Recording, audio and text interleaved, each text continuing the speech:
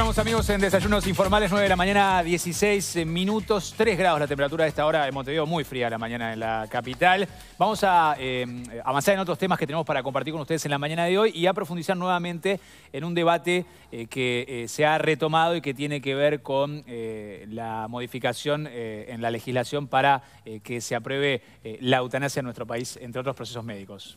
Sí, si bien el, el Colegio Médico evitó pronunciarse concretamente sobre la eutanasia, sí advirtió que eh, su legalización puede de alguna manera dejar que se deje, hacer que se deje de lado el análisis que existe sobre el tema de los cuidados paliativos, que además no están extendidos a todo el país. También los profesionales plantearon que debe cambiarse el artículo del Código de Ética Médica que establece que la eutanasia es contraria a la ética de la, profesión médica. Otro punto que está sobre la mesa es que se asegure a los médicos el derecho a recurrir la objeción de conciencia. Este, entre otras cuantas cuestiones que están en debate y están sobre la mesa en el tratamiento de la eutanasia en el Parlamento y con el diálogo con todos los médicos. Para eso recibimos hoy entonces a la doctora Lucía Delgado, presidenta del Colegio Médico del Uruguay, a quien le damos las gracias. Bienvenida, Lucía. Muchas gracias a ustedes, un placer estar acá. Gracias por acompañarnos. Muchas gracias. Bueno, decíamos esto de que el colegio evitó pronunciarse concretamente sobre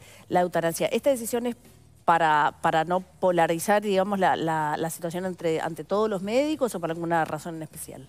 No, la razón eh, por la cual no vamos a tomar posición a favor ni en contra de las iniciativas parlamentarias es que eh, realmente nadie puede discutir que hay diferentes visiones.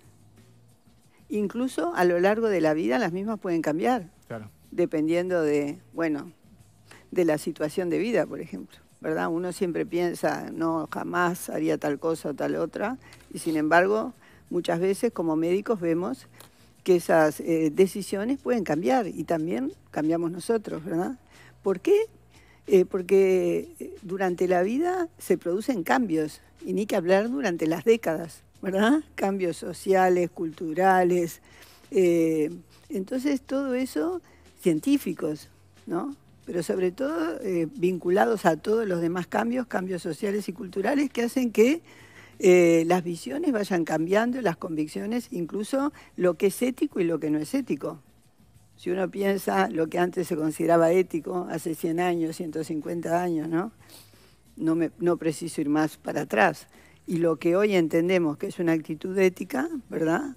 Los principios, de alguna manera que parecían inamovibles, han ido cambiando en función de esa evolución cultural, ¿verdad? tecnológica, y la sociedad va cambiando. De manera que es necesario revisar eh, las leyes y el Código de Ética Médica es una ley en Uruguay. Es uno de los pocos países donde el código es, este, eh, tiene aprobación parlamentaria y es una ley.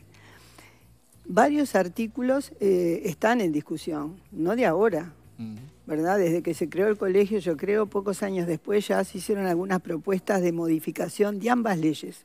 La ley de creación del Colegio de Ética Médica, que establece que tenemos la obligación, el colectivo médico, de eh, proponer, someter a plebiscito de todos los médicos y luego aprobación parlamentaria el Código de Ética Médica, y ese mismo proceso hay que seguirlo para las modificaciones del código. Es lo lógico, porque debe tener aprobación por todo el colectivo. Así que toda modificación que se proponga a iniciativa del Consejo Nacional del Colegio Médico del Uruguay, así lo establece la ley, debe ser sometida, como decía, primero a los consejos regionales, luego a un plebiscito y posteriormente va al Ejecutivo y el Ejecutivo lo envía al Parlamento para su aprobación. Eso es lo que hoy está vigente. Se discuten aspectos relativos a la ley de creación del Colegio Médico del Uruguay, por ejemplo, si eh, se aceptan esos cambios, si el Código de Ética Médica debería ser ley o como en otros países no serlo. ¿Por qué? Porque de alguna forma el que sea ley establece plazos muchas veces prolongados o más prolongados que si no lo fuera para eh, poder contar con las modificaciones propuestas.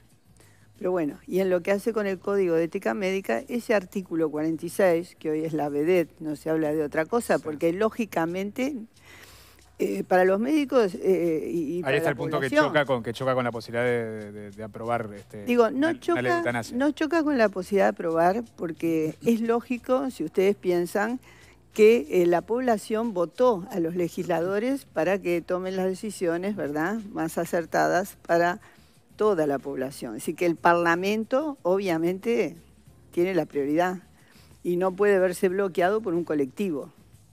Además, el colectivo médico es importante porque de alguna forma va a estar implicado si se votan las leyes en el proceso, ¿verdad?, de eutanasia o muerte asistida, pero no es el objetivo de estas leyes. El objetivo es reconocer el derecho de algunas personas que tienen un sufrimiento insoportable causado por una enfermedad incurable al día de hoy, que ese sufrimiento insoportable causado por esa enfermedad incurable es irreversible en el momento actual. Esto es fundamental, ¿no? Nosotros hemos señalado la importancia de que la palabra irreversible y se demuestre que al momento actual es irreversible es clave. Además de sufrimiento insoportable. El sufrimiento insoportable, tiene que ser irreversible. Dice mucho al momento actual también usted. Este, claro, porque, Capaz que hay cosas que, antes eh, no se podían resolver y ahora bueno, antes de la Segunda Guerra Mundial las infecciones mm. no habían antibióticos.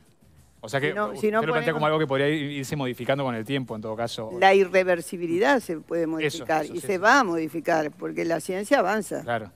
Enfermedades que antes no eran curables, ahora son curables. Sufrimientos que antes no podíamos controlar, hoy se puede, pero todavía no todos, mm. físicos y morales.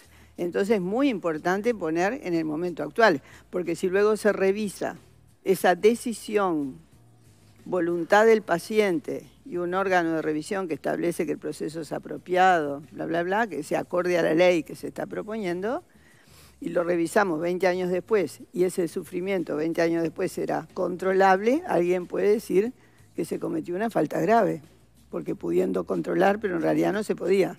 Por eso tiene que ser un sufrimiento irreversible al momento actual, causado obviamente por una enfermedad incurable, casi es lo mismo, porque si la enfermedad es curable, el sufrimiento revierte.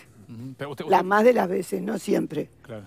Porque a veces puede haber una lesión que es definitiva, como puede ser un accidente, una sección medular, eso es irreversible. Bueno, por lo menos con los conocimientos actuales. Usted plantea, ustedes plantean en el comunicado eh, la postura eh, de eh, avanzar o de cuidar el tema, valga la redundancia, de los cuidados paliativos, o sea, que se vaya hacia la universalización que no existe hoy, pues, que todavía no, está, no, está este, presente en nuestro país, pero ustedes no lo plantean como un tema excluyente, como dos temas, dos cuestiones excluyentes, porque muchas veces en la discusión sobre eh, la, legalización de la eutanasia o del suicidio asistido, se incurre en este, que eso una cosa o la otra. Si hay, si hay este, cuidados paliativos, no debería haber eutanasia, pero desde la, desde la postura que defiende avanzar hacia estas este, modificaciones legales, se habla de que justamente pueden ser este, complementarias. Este, ¿Para ustedes es así? Exactamente. Eh, no se opone una cosa con la otra son eh, acciones ¿verdad? complementarias dirigidas a eh, atender la necesidad de los pacientes que sufren una condición que es crónica, incurable y que les provoca un sufrimiento físico-moral de tal magnitud que toman la decisión de adelantar el fin de la vida. Eh, nosotros entendemos que estamos hablando de derechos de los pacientes, eh, sabemos que eso también puede ser discutible en función de las creencias religiosas, por ejemplo, ¿verdad? Eh, en lo personal entiendo hoy, no sé, en el futuro, que es un, forma parte de, los derechos que ejercemos durante la vida. También decidir cuándo y cómo o cómo queremos morir. Con dignidad, eso a veces es una condición con un sufrimiento de tal magnitud que afecta a la familia toda, ¿verdad? Puede bueno, el paciente tomar la decisión ampliamente informado de las alternativas que tiene, y ahí voy a los cuidados paliativos, y no solamente a los cuidados paliativos, sino a los cuidados que podrían revertir la condición de fondo.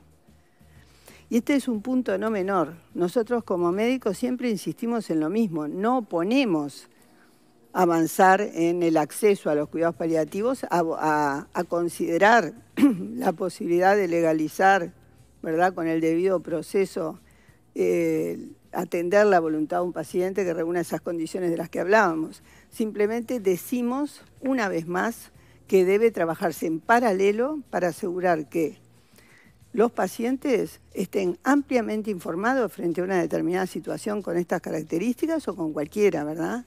Frente a toda situación de salud, el paciente debe estar ampliamente informado sobre las alternativas que tiene para estudiar su patología y para tratarla, estén o no disponibles en el país. Sé que esto también es debatible, como oncóloga lo he defendido siempre, porque un paciente puede tener familiares en el exterior o puede, bien informado, tener la posibilidad, con ayuda de los amigos, de la familia o del Estado, de recibir un tratamiento que no está disponible en el país, pero que está disponible en el mundo. Y esto no es una excepción, sucede frecuentemente, incluso Uruguay ha legislado para que así pueda ser con la propia ayuda del Estado. Entonces, mm, la medicina ha cambiado mucho en los últimos décadas, por, suerte, ¿verdad? Pasó de ser una medicina paternalista a una medicina que le plantea al paciente, psíquicamente apto, obviamente, qué alternativas hay para estudiar y tratar su enfermedad.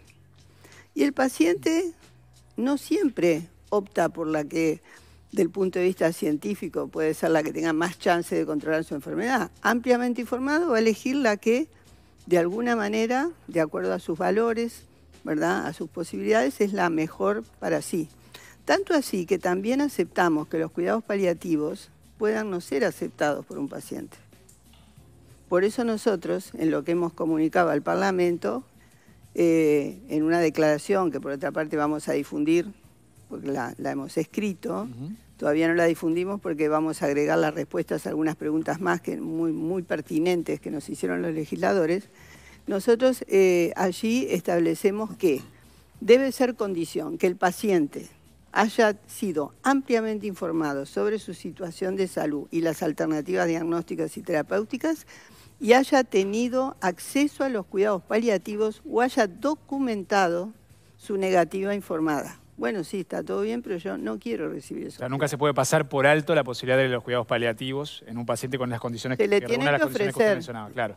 Si el paciente dice que no, Ahora voy a dar una opinión personal también, que sé que es debatible, por eso digo, esta es personal.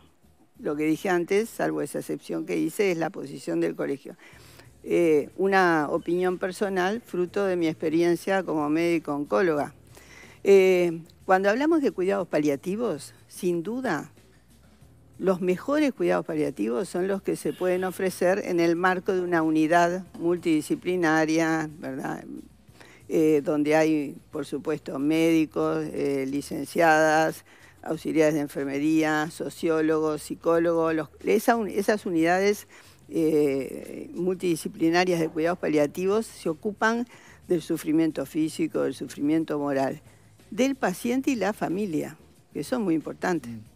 En un paciente con una enfermedad grave, crónica, terminal, que causa sufrimiento, es muy importante el núcleo familiar también, que convive con el paciente, en fin, se ocupa de todo. Sin duda ese es el ideal. Eso hoy, a eso hoy acceden menos del 50% de, las, de los pacientes, familias en el país. Requiere recursos aumentar el acceso. Por eso también nosotros le propusimos a los legisladores eh, completar, que, eh, de alguna manera se logre en un tiempo lo más breve posible que el Senado apruebe la ley, que se aprobada en diputado, pero que además se trabaje muy fuerte en lo que tiene que ver con el presupuesto de forma que la, eh, ley de presupuesto acompañe esa ley que busca dar acceso. el Ejecutivo tiene que dar fondos, porque si no, no se puede. Hay que formar más recursos humanos y hay que aumentar la cápita que reciben las instituciones por usuario para que eso sea posible. Ven, como un problema que se apruebe eh, eventualmente el proyecto de eutanasia antes de que esté este proceso de cubrir todo el, abanico de pacientes con la posibilidad de cuidados paliativos? Sin duda, sin duda, porque una cosa es que se vote e incluso que se le vote un presupuesto y otra cosa que se generen las condiciones para lograr un acceso a unidades de cuidados paliativos adecuadamente integradas. Eso te quería decir, porque en realidad seguramente el acceso a cuidados paliativos para el 100% de la población va a demorar mucho, pero tú has dicho más de una vez que si no hay cuidados paliativos así, ahí está, que se le dé alivio al paciente, ¿no? De- Claro. de- que se- eso sí se debe garantizar. Ahí viene la parte que sé que es discutible, Mm. que mucha gente no va a estar de acuerdo conmigo, pero yo creo que si hoy acceden a estas unidades de cuidados paliativos, que es el ideal, aproximadamente el 50% de la población, lograr el acceso del 100% o- eh, va a llevar un tiempo, no sé si mucho, pero no va a ser poco. Pero eso no quiere decir que no se pueda calmar un dolor físico, por ejemplo los médicos, muchos, los médicos en general, estamos capacitados, porque son los mismos médicos que integran las unidades de cuidados paliativos. Antes no existían las unidades de cuidados paliativos. Quizás no lo podamos hacer tan bien, pero podemos calmar un dolor. Tenemos la formación, por ejemplo, yo me voy a, a- a limitar a los oncólogos, por ejemplo, para lograr controlar un dolor.